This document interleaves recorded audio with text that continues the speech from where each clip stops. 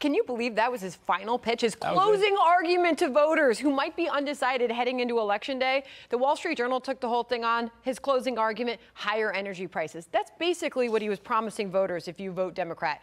Uh, the New York Post this morning Biden keeps accidentally telling the truth about his deadly energy agenda.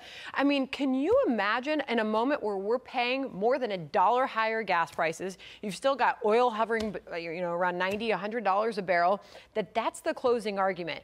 I'm already looking at, you know, I've got my cheat sheet for watching the election results tonight. I mean, it's going to come down to energy prices. I mean, you look at New Hampshire, where a lot of Republicans mm-hmm. think there could be an upset there. Big with issue. Don Bolduc. Big issue. Uh, heating and eating. He's short, made his pitch short, to voters. Short